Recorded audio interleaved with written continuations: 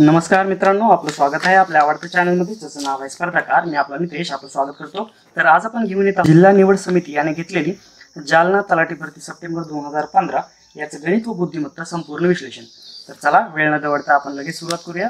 चला पहिला प्रश्न वाचा. एका सांकेतिक भाषेत अक्षराऐवजी चिन्हाचा वापर करून शब्द लिहिलेले आहेत. अक्षरांचा व चिन्हाचा क्रम समान आहे असे नाही. चिन्हांचा क्रम समान आहे असे नाही. प्रश्न क्रमांक एक व दोन साठी लावा. तर बघा रजत सॉरी समज हा शब्द कसा लिहिलाय त्रिकोण चौकोन असं लिहिलंय सफर अशा प्रकारे लिहिलंय आणि रमन अशा प्रकारे लिहिलंय. तर रजत या शब्दाचा संकेत खालीलपैकी कोणता असू शकतो बघा. मी काय केलं अगोदर? समज सांकेतिक भाषा लिहिली सफर सांकेतिक भाषा रमन सांकेतिक भाषा मी लिहिली. तर आता काय विचारलं मला? रजत विचारलंय. बरोबर? आता काय करूया आपण? पहिल्यांदा र म्हणजे रजत आहे ना? म्हणजे र ज त बरोबर? आता र साठी कोणता सांकेतिक चिन्ह असेल तर ते आपण चे बघूया. दोन नंबर आणि तीन नंबर म्हणजे सफर आणि रमन याच्यामध्ये र कॉमन आहे बरोबर? दिसतंय तुम्हाला? हे र कॉमन दिसेल तुम्हाला. या र कॉमन आहे म्हणजे या सांकेतिक भाषेमध्ये पण कॉमन असणार आहे. मग या सांकेतिक भाषेमध्ये काय कॉमन आहे? तर बघा या सांकेतिक भाषेमध्ये पी कॉमन आहे. बरोबर? मग मी पी तर याला शंभर टक्के येणार. बरोबर? पी तर याच्यामध्ये आता याच्यामध्ये पी कुठे कुठे आहे बघा? Option A option C option D बरोबर? म्हणजे ऑप्शन बी तर आता होणार नाही. समजले मला? आता ज ज शोधायचे मला. ज मध्ये काय असणार आहे? ज ब पी तर गेलं ज इथं आहे. पण कॉमन कार्ड त्याला आपल्याला पर्याय नाही. काय निघू शकतं? आपण त्याच्याऐवजी काय करू? स ला बघूया. म्हणजे स जर या पहिल्या आणि दुसऱ्यामध्ये स कॉमन आहे तर याच्यामध्ये काय कॉमन आहे? म्हणजे स ला काय कॉमन असू शकतो? सर्कल कॉमन आहे बघा. बरोबर? मग सर्कल कट झाला कारण की आपल्याला ज बद्दल काढायचंय. बरोबर? ज्याबद्दल बद्दल काढायचंय आपल्याला तर एकतर त्रिकोण होऊ शकतं किंवा चौकोन होऊ शकतं. बरोबर? पण त साठी या तिन्ही सांकेतिक चिन्ह दे भाषा दिली आपल्याला त्याच्यामध्ये त आपल्याला निघत नाही. म्हणजे त चा जे सांकेतिक चिन्ह आहे ती या सगळ्यांपेक्षा काहीतरी वेगळं असेल. मग या सगळ्यांपेक्षा वेगळं काय बघा बरं? या सगळ्यांपेक्षा वेगळं. हे सर्कलमध्ये जे टिंब दिले ते सगळ्यापेक्षा वेगळं आहे. म्हणजे नक्कीच त साठी सर्कल म्हणजे वर्तुळामध्ये टिंब हे तसाठी असणार आहे कारण की आपल्याला त्यांनी काहीच दिलं नाही. मग याच्यामध्ये उपलब्ध नसलेलं सांकेतिक चिन्ह म्हणजे हे आहे. मग आपलं नक्कीच ऑप्शन क्रमांक सी हे आपलं उत्तर आहे. नंतर समर या शब्दाचा संकेत कोणता? आता हे सोपं आहे बघा. स साठी काय काढलंय मी? वर्तुळ इथे लिहितो मी. स साठी काय काढलं मी? वर्तुळ काढले मला म बघायचं आता. पहिलं आणि तिसऱ्याला नाव देतो नंबरच देतो मी. एक दोन तीन. नंबर एक आणि नंबर तीन मध्ये बघा म कॉमन दिसते तुम्हाला. मी ह्याला सर्कल करतो. म कॉमन आहे म्हणजे याच्या दोन मध्ये पहिल्या आणि तिसऱ्यामध्ये काय कॉमन आहे? तर ट्रायंगल म्हणजे त्रिकोण कॉमन आहे. दिसतंय तुम्हाला? त्रिकोण कॉमन आहे. म साठी स म र. आता र साठी काय काढलंय? मी र साठी तर पी काढून ठेवले अगोदर. इथं आपण काढले र साठी पी. मग स म र म्हणजे सर्कल म्हणजे वर्तुळ त्रिकोण आणि पी. ऑप्शन क्रमांक चार. डी आला आपलं उत्तर. म्हणजे आपल्याला काय करत जायचंय? की कॉमन काढत जायचं आणि एक एक एक एक शब्द जो आहे त्याच्याबद्दल काय म्हणता येईल ते आपल्याला ओळखत जायचं. ऑप्शन क्रमांक डी आपलं उत्तर असेल. चला मित्रांनो पुढचा प्रश्न घेऊया. एकला दोन तीन दोन अधिक तीन सात म्हणतो. तीन अधिक चारला तेरा म्हणतो. पाच अधिक सहाला काय म्हणतो बघा. एक अधिक दोनला तीन म्हणलंय. म्हणजे बे कबे बे अधिक एक तीन येते. दोन आणि तीनला सात म्हणले बेत्रिक सहा अधिक एक केले की सात येते. तीन आणि चारला तेरा म्हणले तीन चौक बारा अधिक एक तेरा येते. मग पाच अधिक सहा काय करावं लागेल मला? पाच अधिक सहा वेळेस काय येईल? पाच गुणिले सहा म्हणजे त्या दोघांचा गुणाकार. आणि अधिक एक करावं लागेल मला पटतंय तुम्हाला? सहा पंचे तीस. अधिक एक काय आलं उत्तर आपलं? आपलं उत्तर आलं एकतीस. आहे ऑप्शनमध्ये ऑप्शन क्रमांक सी आपलं उत्तर आलं एकतीस. चला आता चार बघा प्रश्न क्रमांक काय म्हणते? A B C D F G H I J K L M N O P Q R S T U V W X Y Z तर आर आणि एनला आठ गुणिले चार दिले. मित्रांनो वाटतं तुम्हाला? आर आणि आर आणि एन म्हणजे आर कुठे आहे? बघा मी ए बी सी डी लिहून घेतली अगोदर. त्याला नंबर दिला नाही का? कारण की त्यांचे नंबरिंग त्यांनी वेगळे सांगितलेले आहे जर अशा प्रकारे सांकेतिक भाषा दिली नसती तर मी अगोदर एक ते सव्वीस याला मी नंबरिंग दिलं असतं. बरोबर? मग आर आणि एन आठ गुणिले चार आहे. मग आरला आठ आणि एनला एन कुठे आहे? मित्रांनो एनला चार दिला. यू गुणिले वाय अकरा गुणिले पंधरा. यूला अकरा आणि वायला पंधरा दिलं. टी आणि डब्ल्यूला काय असेल मित्रांनो बघा. आता चार आठ अकरा पंधरा दिले. मग बघा चार पाच ह्याला म्हणतो सहा सात नऊ दहा बारा तेरा आणि चौदा. पटते तुम्हाला आणि सोळा. मग मला टी आणि डब्ल्यू पाहिजे. हा टी आणि हा डब्ल्यू पाहिजे. मग टी आणि डब्ल्यू किती आलं बघा? टीला तर आलं दहा आणि डब्ल्यूला आलं तेरा. मग आपलं उत्तर काय असेल? दहा गुणिले तेरा. पटते तुम्हाला? आपलं उत्तर आलं दहा गुणिले तेरा. ऑप्शन क्रमांक बी दहा गुणिले तेरा हे आपलं उत्तर असेल मित्रांनो. समजते चला तर मग पुढचा प्रश्न घेऊ. बघा प्रश्न काय म्हणतो चार अधिक चव्वेचाळीस अधिक चारशे चव्वेचाळीस अधिक चार चार चार. या क्रमाने वाढत जाणं या मालिकेत एकूण नऊ पदे आहेत. म्हणजे किती संख्या आहेत आपल्याकडे? आपल्याकडे नऊ संख्या आहेत. त्यांची बेरीज केल्यावर बेरीज दशक स्थानी कोणता अंक येईल आपल्याला चेक करायचं आहे मग मी काय केलं अगोदर? तुमच्या समजण्यासाठी याला शॉर्ट ट्रिक पण आहे तुमच्या समजण्यासाठी मी काय केलं हे नऊ अंक म्हणजे चार चव्वेचाळीस चारशे चव्वेचाळीस एक की चार वाढवून मी असे जी नऊ पद तयार केली त्या लिहिली. तर त्याच्या बेरीचे दशकस्थानी अंक कोणता? हे आपल्याला त्यांनी विचारले. काय विचारले? दशकस्थानी अंक कोणता? तर बघा एकक स्थान आहे हे दशक स्थान आहे. म्हणजे हे एकक आणि हे दशक स्थान आहे. मला दशक स्थानचा अंक काढायचा आहे. पहिल्यांदा एकक स्थानची बेरीज करूया. चार हे किती वेळेस चार हे नऊ वेळेस आहे मित्रांनो. मग चार नऊ किती येते छत्तीस. म्हणजे सहा येईल नाही तर एक स्थानी आणि हातचा किती येणार? तीन येणार हातचा. गोल करतोय मी लक्षात राहील आपल्याला. आता दशक स्थानी चार किती वेळेस आहे? आठ वेळेस आहे. चार गुणिले आठ. चार आठ किती? बत्तीस. बत्तीस आणि हे तीन किती? पस्तीस झालं. पाच इथे येणार. हातचा तीन येणार. मग मला काय विचारलंय? बेरीज केलं बेरजेच्या दशकस्थानी कोणता अंक येते मग बेरीजच्या दशकस्थानी किती येते मित्रांनो? पाच येते मग ऑप्शन क्रमांक एक उत्तर. आता बघा. हे अशा प्रकारे मांडणी करायची काय तुम्हाला समजेल म्हणून मांडणी केली पण अशी मांडणी आपण करायची नाही आपण काय करायचं? मला माहिती आहे किती पद आहेत? नऊ पद आहेत. एकच स्थान चार नऊ छत्तीस तीन आलं पुढं. किती आहेत? आठ पद आहेत. चार आठ बत्तीस तीन पस्तीस. पाच आलं उत्तर. पुढे जायची गरज आहे का? बेरीज करायची की? पूर्ण नाही. पाच आलं उत्तर आपलं इथं स्टॉप झालं. ऑप्शन क्रमांक एकला गोल केला आणि पुढचा प्रश्न सोडवायला आपण मोकळे झालो. समजते? म्हणजे एवढी सगळी मांडणी करायची गरज नाही. फक्त तुम्हाला समजावं म्हणून मी मांडलंय. लक्ष येते चला तर मग पुढचा प्रश्न घेऊ प्रश्न क्रमांक सहा आणि सात एकामध्येच आहे. ए अधिक सी वजा डी एक बरोबर बी दुसरा आहे ए वजा सी बरोबर डी आणि ए अधिक बी अधिक सी अधिक बी बरोबर चौदा बघा पहिलं जे समीकरण आहे ते मी इथे लिहिलं ए अधिक सी वजा डी बरोबर बी बरोबर? बी जे आहे ते मी इकडं आणलं मग काय होते? अधिकच्या जागी वजा बी होईल ए अधिक सी वजा डी वजा बी बरोबर शून्य बरोबर? आता हे जे समीकरण आलं त्याला फक्त नीट मांडूया म्हणजे ए सी डी बी ऐवजी ए बी सी डी या प्रकारे मांडूया मग ए वजा बी अधिक सी वजा डी मांडलं दिसतंय तुम्हाला? बरोबर शून्य. आता जे पहिलं सॉरी तिसरं समीकरण आहे सी म्हणतो समीकरण. ते सी समीकरण मी मांडलं ए अधिक बी अधिक सी अधिक डी बरोबर चौदा. आता या दोन समीकरणांची काय केली मी? बेरीज केली. बेरीज केल्यानंतर मला काय म्हणायचंय? मला ए अधिक सी काढायचे मग मी बेरीज केल्यानंतर काय होतं? हे बी ला बी कट होईल. हे डी ला डी कट होईल. उत्तर किती आलं? ह्या दोघांची बेरीज. दोन ए अधिक दोन सी. बरोबर चौदा. बरोबर? दोन कॉमन काढूया. ए अधिक सी. बरोबर. चौदा. हे दोन जे आहे ते ह्याला इकडे गेलो काय होणार? चौदाला भाग देणार. आणि आपल्याला काय मिळणार तर इथली तुम्ही ए अधिक सी बरोबर चौदा भागिले दोन बे क बे बे सती चौदा. म्हणजे उत्तर किती आलं आपलं? उत्तर किती आलं मित्रांनो? ए अधिक सी बरोबर उत्तर आलं सात. आपलं काय विचारलंय? आपल्याला तेच विचारलं ए अधिक सी किती आहे? ऑप्शन क्रमांक सी. आपलं उत्तर आलं सात. आता ए अधिक सी ची किंमत काढण्यासाठी दिलेल्या तीन समीकरणांपैकी कोणत्या समीकरणाची गरज नाही मित्रांनो? तर बघा आपण समीकरण ए वापरलं समीकरण सी वापरलं पण समीकरण बी वापरले का आपण? अजिबात नाही वापरलं आपल्याला गरजच पडली नाही. म्हणून तीन समीकरणापैकी कोणत्या समीकरणाची गरज नाही पडली तर? बी समीकरणाची आपल्याला गरज पडली नाही म्हणून ऑप्शन बी आपलं उत्तर असेल मित्रांनो. समजतंय?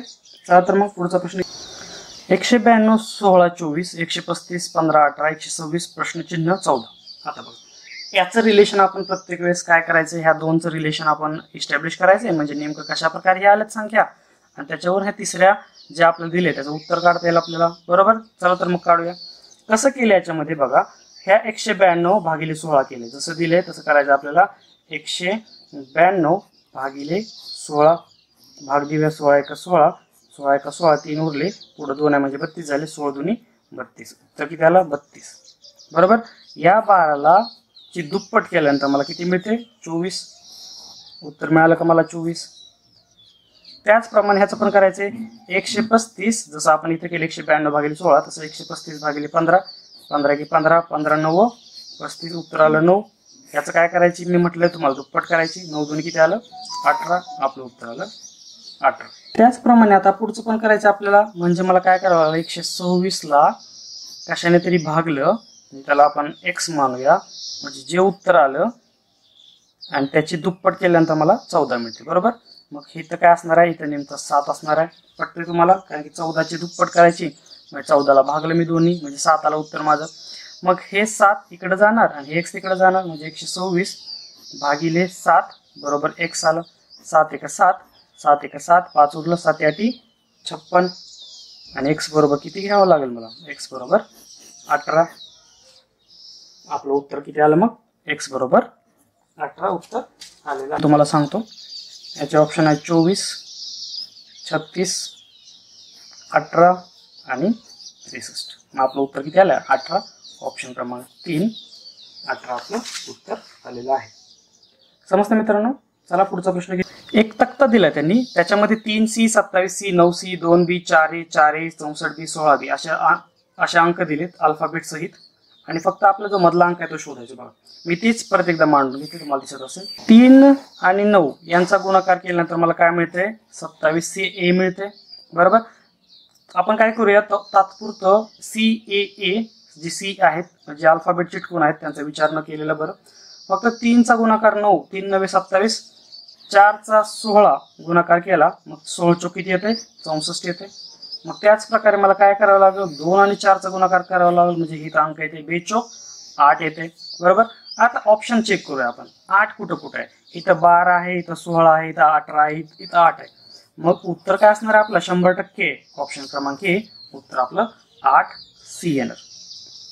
समजते हे अल्फाबेट का टाकलेत मित्रांनो? की अल्फाबेट कशासाठी टाकलेत? ते आपल्याला फक्त थोडं कन्फ्यूज करायला अल्फाबेट टाकले पण योगायोग असा आहे की आठचा आठ ऑप्शन फक्त एकच आहे. जर आठ दोन असतील कुठेतरी मग आपल्याला अल्फाबेटचा विचार करावा लागला असता. पण आता इथं करायचं आहे का? नाही का? तर ऑप्शन फक्त एकच मध्ये आठ आहे मित्रांनो. मग आपलं उत्तराला ऑप्शन क्रमांक ए आठ सी. चला पुढचा प्रश्न घेऊया. या गटाशी जुळणारे पद ओळखा. काय? पाचशे सदुसष्ट नऊशे पंचेचाळीस पाचशे चौऱ्याण्णव सातशे अडतीस. मी हे परत एकदा मांडून घेतलेत. पाचशे सदुसष्ट नऊशे पंचेचाळीस पाचशे चौऱ्याण्णव आणि सातशे अडतीस मांडून घेतले मित्रांनो. तर आता याच्यामध्ये काय करायचंय? ह्या प्रत्येक जो जी संख्या आहे त्याच्या प्रत्येक अंकाची बेरीज केली. पाच अधिक सहा अधिक सात नऊ अधिक चार अधिक पाच पाच अधिक नऊ अधिक चार सात अधिक तीन अधिक आठ. तर मला काय कळालं की प्रत्येकाच्या अंकांची बेरीज अठरा येते. अठरा अठरा अठरा अठरा. मग द- या गटाशी जुळणारे पद ओळखा म्हणजे हे जे चार ऑप्शन दिलेत त्यातलं एक पद ओळखायचे की याच्याशी जुळते. मग मला अशी पद ओळखावी लागतील की ज्यांच्या अंकांची बेरीज सुद्धा किती येते? अठरा येते. बरोबर?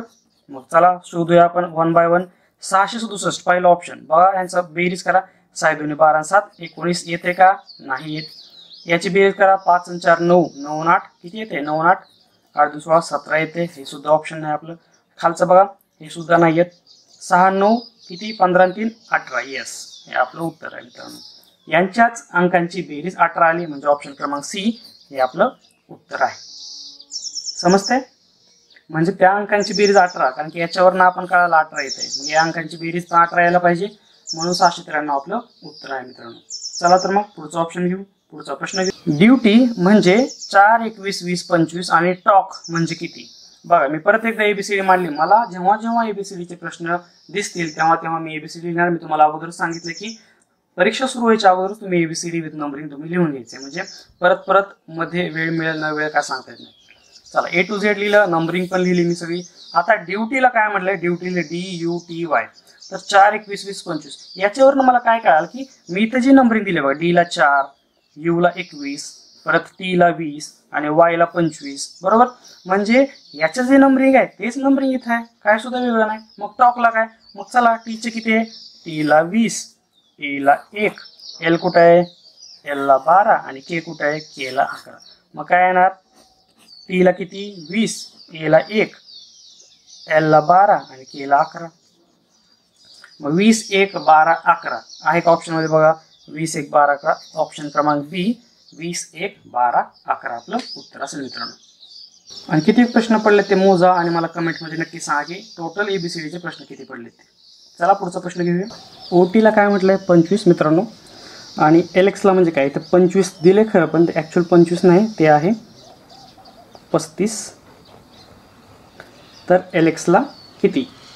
बघा ओची किंमत आणि टीची किंमत. ओची किंमत आणि टीची किंमत किती येते? ओ आहे पंधरा आणि टी आहे वीस. यांची बेरीज केल्यानंतर मला किती मिळतं आहे पस्तीस मिळतं आहे तर एल आणि एक्स यांची बेरीज केल्यावर मला किती मिळेल? मग एल किती आहे आपला? बघा एल इथं बारा आहे. आणि एक्स किती आहे? एक्स आहे आपला चोवीस. मग या दोघांची बेरीज केल्यानंतर मला किती मिळतं? आहे छत्तीस मिळते. ऑप्शन क्रमांक डी छत्तीस. बरोबर? अशा प्रकारचे प्रश्न सोपे असतात. फक्त तुम्हाला ए बी सी डी काढावे लागेल. बरोबर? ए बी सी डी काढल्यानंतर तुम्हाला सगळे प्रश्न ए बी सी डीचे कोणते असू द्या आपल्याला बरोबर लॉजिक डेव्हलप होतं लॉजिक लागतं आणि आपल्याला प्रश्नाचं उत्तर कळतं. ऑप्शन क्रमांक डी छत्तीस. पुढचा प्रश्न घेऊया. ए बी सी डी मांडली मी. एक ते सव्वीस नंबरिंग दिले. क्लॉकला चव्वेचाळीस बघा clock C L O C K क्लॉकला चव्वेचाळीस म्हणजे बघा सी एल ओ परत सी आणि परत के त्यांचे नंबर्स लिहिले मी बरोबर? तसंच नंतर काय केलं? टाईम टाईमचा नंबर लिहिले बघा. टाईम काय म्हणते? एकोणतीस टी कुठे गेला टी टी परत आयला नऊ. एमला तेरा. आणि e ईला पाच लिहिले मी. बरोबर? क्लॉकला काय म्हटलं आहे क्लॉकला म्हटलं आहे चव्वेचाळीस. मग ह्याची बेरीज चव्वेचाळीस येते का बघायची आपल्याला? या सगळ्यांची बेरीज करा. बारा आणि तीन पंधरा. पंधरा आणि पंधरा तीस. तीस आणि तीन. तेहतीस तेहतीस आणि अकरा किती झाले मित्रांनो? चव्वेचाळीस झालं. टाईम वीस आणि नऊ एकोणतीस. एकोणतीस आणि तेरा किती झाले? एकोणतीस आणि तीन बत्तीस आणि बेचाळीस आणि पाच सत्तेचाळीस झालं. त्याच प्रकारे आपल्याला watch W A T C आणि एच यांचं मी नंबरिंग लिहिले बघा इथं. त्या सगळ्यांची बेरीज जर केली तर किती होती? तेवीस आणि एक.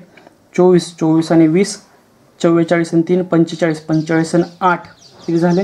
पंचेचाळीस आणि आठ. बा बेरीज चुकली वाटते चोवीस तेवीस आणि एक चोवीस. चोवीस वीस चव्वेचाळीस. चव्वेचाळीस आणि तीन सत्तेचाळीस. सत्तेचाळीस आणि आठ. सत्तेचाळीस आणि आठ किती झाले? मित्रांनो पंचावन्न झाले. ऑप्शन क्रमांक बी आपलं उत्तर आलं पंचावन्न. समजतं? मी पहिल्यांदा मांडून घेतो. तीन इथं ब्लँक्स चार आठ परत एकदा ब्लँक तीन दोन नऊ नऊ चौदा ब्लँक सहा.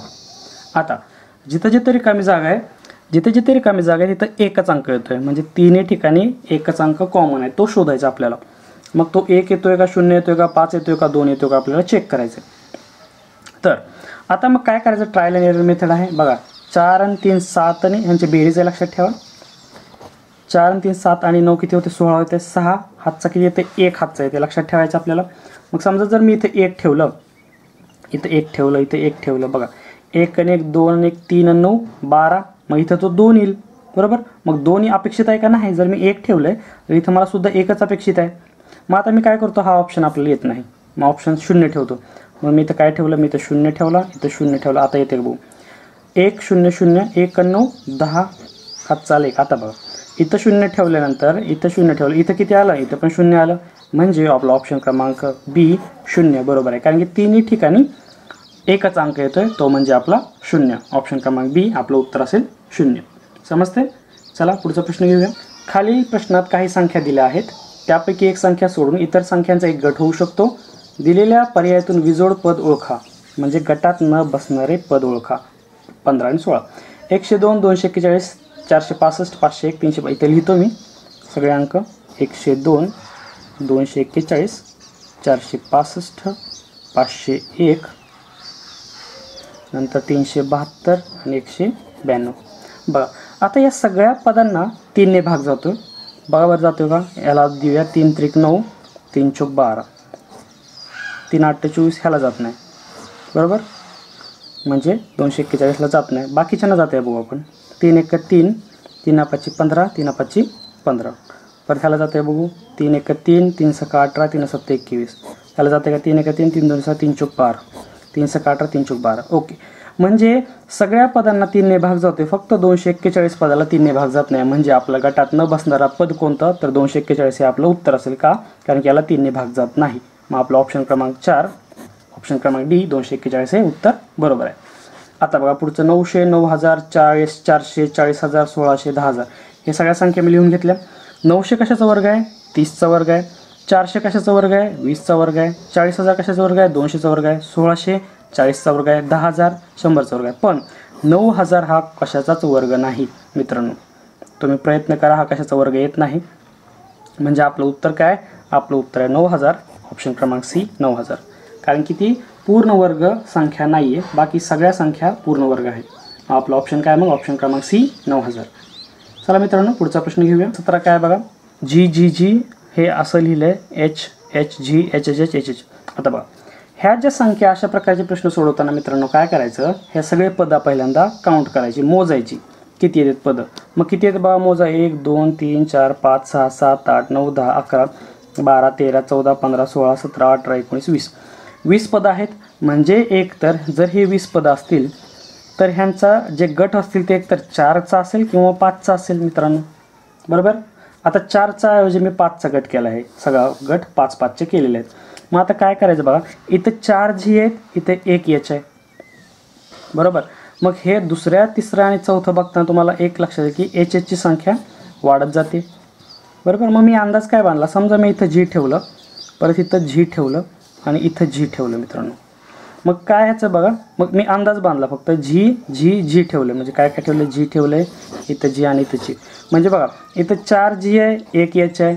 इथं तीन जी आहे दोन एच आहे. इथं दोन जी आहे तीन एच आहे. इथं एक जी आहे चार एच आहे म्हणजे झीची संख्या कमी होत जाते. चार तीन दोन एक आणि एचची संख्या वाढत जाते. एक दोन तीन आणि चार मित्रांनो. म्हणजे हे आपलं लॉजिक एकदम बरोबर आहे. झीची संख्या कमी होत जाते एचची संख्या वाढत जाते. म्हणजे आपलं काय लिहिलं आपण? H sorry Z G Z हे आपलं उत्तर आहे मित्रांनो. ऑप्शन क्रमांक चार झी जी जी आता कसं आहे मित्रांनो आपण तुम्हाला प्रत्येक ऑप्शन ट्राय करावं लागेल. प्रत्येक ऑप्शन ठेवावं लागेल. चारचा गट बनवावा लागेल पाचचा गट बनवावा लागेल. आणि याच्यावरून तुम्हाला समजेल की बाबा कोणता ॲक्च्युअल त्याच्यामध्ये ऑप्शन एकदम ॲक्युरेट फिट बसू शकतो. आपल्या लॉजिकला जी संभाव्यता आहे आपल्या लॉजिकची तीसुद्धा याच्यामध्ये येऊ शकते. समजते मित्रांनो? तर आपलं उत्तर आहे ऑप्शन क्रमांक चार जी जी जी आता अठरा क्रमांकचा अठरा क्रमांकचा प्रश्न आहे तो चुकीचा आहे मित्रांनो कारण की बघा एक दोन तीन चार पाच रिकाम्या जागा आहेत पण ऑप्शनमध्ये चार चारचा गट आहे. म्हणजे हा प्रश्न चुकीचा आहे मित्र खालील प्रश्नात अक्षरांचे गट दिले आहेत. या गटाचे वैशिष्ट्य ओळखून त्या गटात बसणारे पद ओळखा. मागच्या प्रमाणेच प्रश्न आहे. या गटाचं वैशिष्ट्य ओळखायचं आणि या गटात बसणारा आपल्याला कोणता गट बसतो ते आपल्याला ओळखायचे बघा मी ए बी सी डी काढली. ए टू एक ते सव्वीस नंबरिंग दिलं. आता बघू. Q S R G I H U T V K J I of करा. हे लिहिलं मी. त्याचं नंबरिंग लिहिलं आता मी. कारण की नंबरिंग लिहिल्याशिवाय मला लॉजिक कसं कळणार? मला नाही का? वरती घेतो जरा. बघा क्यू एस आर क्यू काय? बघा क्यू एस आणि आर सतरा एकोणीस अठरा. नंतर G I H G I H नंतर U T V U T V नंतर के जे आय के जे आणि आय आता यांचं नंबरिंग दिलं मला एक काय कळालं की हे सलग क्रमाने येणारे अंक आहेत. बघा सतरा अठरा एकोणीस सात आठ नऊ वीस एकवीस बावीस नऊ दहा अकरा. म्हणजे काय करायचे? सलग क्रमाने येणारे तीन अंक आणि त्यांचं जे अल्फाबेट आहे करस्पॉन्डिंग ते आपलं उत्तर असणार आहे याच्यामधलं चार ऑप्शनपैकी मग आपण एफ जी डी बघितलं. किती येते एफ जी डीचं एफ जी आणि डी सहा सात चार. मग सलग आहेत का? सहा सात आहे पण इथं पाच असायला हवं होतं किंवा आठ असायला हवं होतं. म्हणजे ऑप्शन बसतो का आपल्या याच्यामध्ये? या लॉजिकमध्ये आपला ऑप्शन बसत नाही. ट्रायलने एरर आहे प्रत्येक ऑप्शन आपण चेक करतो आहे बघा प्रत पुढचं option N O M N O M चौदा पंधरा एन ओ एम चौदा पंधरा तेरा. मग आहे का? आहे. तेरा चौदा पंधरा. सलग आहे तीन क्रमाने. मग आपलं उत्तर काय असणार आहे? आपलं उत्तर असतं एन ओ एम हे आपलं उत्तर असणार मित्रांनो. लक्ष येते सोपं आहे. फक्त थोडंसं मी जे सांगतो त्या प्रकारे जायचं. ह्याला एक प्रोटोकॉल असतात. प्रश्न सोडवताना ते प्रोटोकॉल फॉलो करत करत गेल्यानंतर सरावानंतर तुम्हाला क्लिअर होतं की नेमकं आपल्या ह्या प्रश्नाचं उत्तर कशा प्रकारे सोडवायचं. समजतंय? आपलं ऑप्शन आहे बी उत्तर एन ओ एम चला तर मग पुढचा प्रश्न घेऊया. प्रत्येक चौ चौरस सॉरी चौकोन दिले. त्याच्यामध्ये एक संख्या आहे. बाजूने संख्या आहेत. अशा अशा प्रकारे दिले. आणि जी जो चौथा आहे त्याच्यामध्ये आपलं प्रश्नचिन्ह दिलं आहे त्याच्या जागी आपल्याला उत्तर शोधायचं तर बघा. तर हे जे बाजूचे म्हणजे पेरिफेरल्स म्हणतो आपण म्हणजे तीन चार नऊ अकरा बरोबर? यांचा जर मी वर्ग केला बघा तीनचा वर्ग चारचा वर्ग नऊचा वर्ग अकराचा वर्ग नऊ सोळा एक्क्याऐंशी एकवीस. यांची बेरीज केले मला काय मिळते? दोनशे सत्तावीस मिळाल. आणि तो उत्तर आतला अंक आहे. म्हणजे मला एक लॉजिक काय करायला की पेरिफेरल म्हणजे चौकोनाच्या बाहेरचे जे अंक आहेत त्यांचा वर्ग केला आणि त्यांची बेरीज केल्यानंतर मला आतला अंक मिळतो. हे मला कळालं. मग तेच बघूया पुढच्या ह्याला पण अप्लाय आहे का? ह्याला दुसऱ्याला आणि तिसऱ्याला. बघा सात पाच आठ आणि बारा आहे. सातचा वर्ग पाचचा वर्ग आठचा वर्ग बाराचा वर्ग एकोणपन्नास पंचवीस चौसष्ट एकशे चव्वेचाळीस. यांची बेरीज केली मला मिळाले दोनशे ब्याऐंशी. अरे वा दोनशे ब्याऐंशीच आहे आतमध्ये पण म्हणजे एक तर मला आता कन्फर्म झालं की आतमध्ये अंक तोच आहे यांची बेरीज केल्यानंतर. तिसऱ्याला पण चेक करूया आपण. नऊचा वर्ग पाचचा वर्ग दहाचा वर्ग तेराचा वर्ग. एक्क्याऐंशी पंचवीस शंभर एकशे एकोणसत्तर तीनशे शहाऐंशी आहे का? आहे. मग ह्या तीन प्रमाणेच आपल्याला ह्याचं पण करायचं आहे मग अकराचा वर्ग सातचा वर्ग बाराचा वर्ग दहाचा वर्ग ह्यांचा वर्ग आणि यांची बेरीज केल्यानंतर मला आतला अंक नक्कीच मिळेल. कन्फर्म. अकराचा वर्ग एकशे एकवीस सातचा वर्ग एकोणपन्नास बाराचा वर्ग एकशे चव्वेचाळीस दहाचा वर्ग शंभर. यांची बेरीज केली मला मिळालं चारशे चौदा. आणि मी बघ भेटलं ऑप्शनमध्ये आहे का? चारशे चौदा आहे. ऑप्शन क्रमांक सी. आपलं मित्रांनो उत्तर आहे चारशे चौदा. समजते चला मग पुढचा प्रश्न घेऊया. प्रश्नात सांगितल्याप्रमाणे चिन्हांचा बदल करून अचूक पर्याय लिहा. भागिलेला भागिले म्हणजे बेरीज वजाबाकी म्हणजे भागाकार गुणाकार म्हणजे वजाबाकी अधिक बेरीज म्हणजे गुणाकार. तर खालील समीकरण सोडवा. समीकरण काय आहे? कंसामध्ये चौसष्ट गुणिले चार छेद कंसामध्ये पंधरा अधिक दोन छेद पाच अधिक नऊ गुणिले तीन गुणिले चौदा भागिले तीन. बरोबर? अगोदर ह्या प्रकारचे प्रश्न कसे सोडवायचे? याच्यावर एक आपण सुंदर व्हिडिओ बनवलेला आहे. सरळ रूप सिम्प्लिफिकेशन याच्यामध्ये तुम्हाला हा व्हिडिओ मिळेल. याच्या डिस्क्रिप्शनमध्ये मी लिंक देतो. ते चेक करा तुम्ही.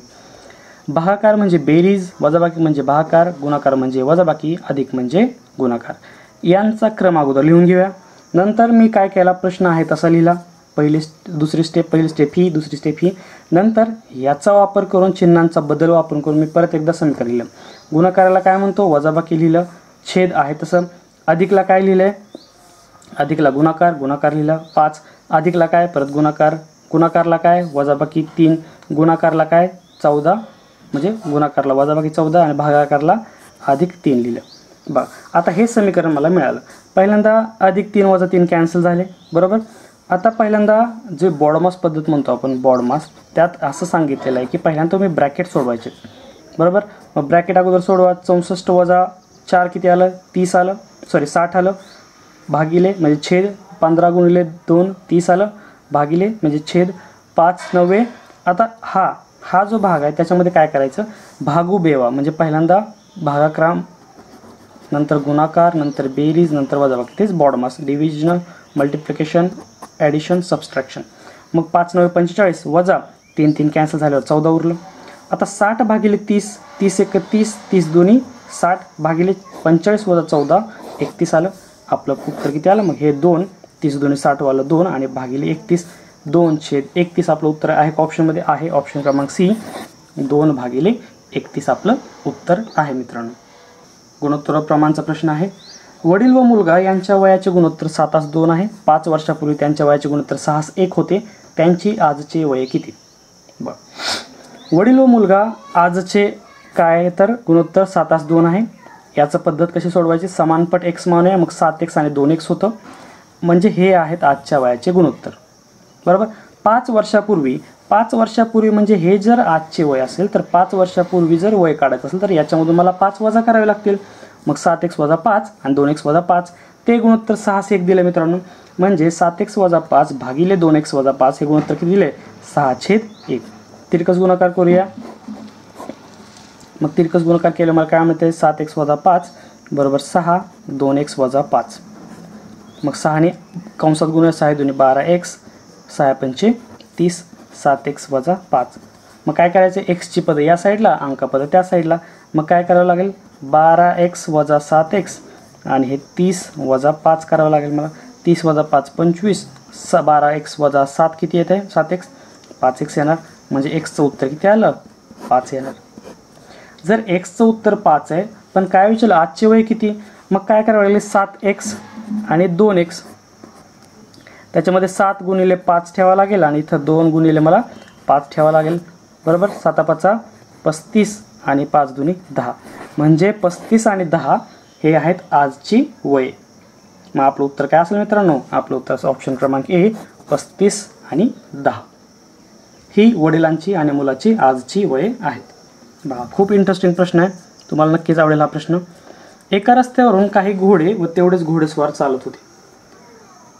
काही अंतर कापल्यानंतर त्यापैकी निम्मे घोडेस्वार घोड्यावर स्वार झाले आणि आता चालणाऱ्या पायांची संख्या किती झाली? बघा समजा आपण आपल्या इमॅजिन करा रस्त्यावर तेवढेच घोडे आहेत आणि तेवढेच घोडेस्वार आहेत. चालतायत अगोदर बरोबर? मग चालतायत म्हणजे समजा घोडे आणि घोडेस्वार प्रत्येकी एक्स मानूया म्हणजे तेवढेच घोडे आहेत आणि तेवढेच घोडेस्वार आहेत. मग घोड्याला पाय किती आहेत? चार एक्स म्हणजे चार पाय आहेत म्हणजे टोटल घोड्यांचे पाय झाले चार एक्स आणि एक्स म्हणजे जे घोडेस्वार आहेत त्यांचे पाय किती आहेत? त्यांना दोन पाय आहेत म्हणजे दोन एक झाले. म्हणजे ही टोटल पायांची संख्या झाली मित्रांनो. पण काही अंतर चालल्यानंतर काय केलं? हे जे घोडेस्वार आहेत ते निम्मे घोडेस्वार चढले घोड्यावर. मग ह्या निम्मे घोडेस्वार चढले घोड्या म्हणजे पायांची संख्या निम्मी कमी झाली. म्हणजे मला याला दोन्ही भागावं लागेल. पटते का तुम्हाला? तेच मी इथं लिहिले. चार एक्स अधिक दोन एक्स भागिले दोन आणि त्याच्यानंतर पायांची संख्या झाली पन्नास. बरोबर पन्नास. बरोबर? निम्मे घोडेस्वार चढल्यानंतर ह्या पायांची संख्या घोडेस्वारांच्या निम्मेही झाली. म्हणजे दोन एक्स भागिले दोन आणि ह्या टोटल घो टोटल चालणाऱ्या पायांची संख्या झाली पन्नास. यांची बेरीज मला पन्नास मिळाली. मग आता करा दोनला दोन कट. इथे एक्स उरला चार एक्स आणि एक्स पाच एक्स झाले. बरोबर पन्नास. पन्नास म्हणजे एक्स बरोबर पन्नास भागिले पाच. पाच एक पाच पाच एक पाच शून्य. एक्स बरोबर किती झालं? दहा. म्हणजे एक्स बरोबर दहा तर आपण घोडे व घोडेस्वार प्रत्येकी एक्स मानलं होतं.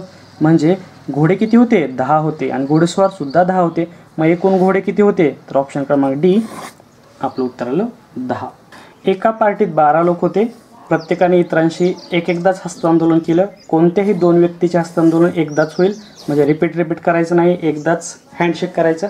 मग एकूण हस्तांदोलनची संख्या किती झाली बघा. आता हे समजा हे बारा लोक आहेत. एक दोन तीन चार पाच छे सात आठ नऊ दहा अकरा बारा. आता ह्या एकने काय केलं? ह्या प्रत्येकाला शेक हँड केलं. किती झाले मग शेक हँड एक सोडून शेक हँड किती झाले? अकरा झाले. बरोबर? आणि हा हा निघून गेला परत. का? कारण की रिपीट करायचं नाही आपलं शेक हँड नंतर दुसरा जो व्यक्ती आहे त्याने काय केलं? ह्या प्रत्येकाशी हँडशेक केलं. आणि मग किती हँडशेक झाले त्याचे? ह्याचे झाले दहा. हा सुद्धा निघून गेला. का? का निघून गेला म्हणतोय मी? कारण की दोन व्यक्तींचे हस्तांदोलन एकदाच होणार आहे. जर तो व्यक्ती तिथेच उपस्थित असेल तर परत एकदा हँडशेकमध्ये समाविष्ट होईल आणि नंतर आपल्याला तीच तेच रिपीट होईल. मग आपल्याला रिपीट नाही करायचे हँडशेक मग अशा प्रकारेच काय केला? हा तिसरा आपण हँडशेक केला. मग टोटल हँडशेक झाले नऊ. मग हा परत निघून गेला.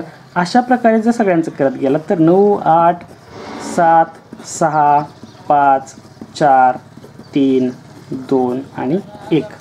अशा टोटल हस्तांदोलनची संख्या आपल्याला मिळत जाईल. मग आपल्याला यांची बेरीज करायची का? तर एकूण हस्तांदोलन विचारले आपल्याला. मग ह्या संख्या एक ते अकरा नैसर्गिक अंक आहेत. त्यांची बेरीज आहे क्रमाने येणार आहे त्याचा फॉर्म्युला तुम्हाला माहीत आहे. यन कंसामध्ये यन अधिक एक भागिले दोन एन म्हणजे काय? शेवटची संख्या. एन म्हणजे शेवटची संख्या म्हणलं अकरा गुणिले अकरा अधिक एक बारा भागिले दोन बेक बे बेसख्ख बारा अकरा गुणिले सहा. उत्तर किती आलं आपलं? सहासष्ट. आहे का ऑप्शनमध्ये आहे. ऑप्शन क्रमांक सी आपलं उत्तर आलं मित्रांनो सहासष्ट. समजते तुम्हाला? रिपीट होऊ द्यायचं नाही हस्तांदोलन चला पुढचा प्रश्न घेऊया. तर हा पुढचा प्रश्न आहे मित्रांनो तुमच्यासाठी होमवर्क याचं उत्तर तुम्ही मला कळवायचं आहे की याचं उत्तर किती येते बरोबर?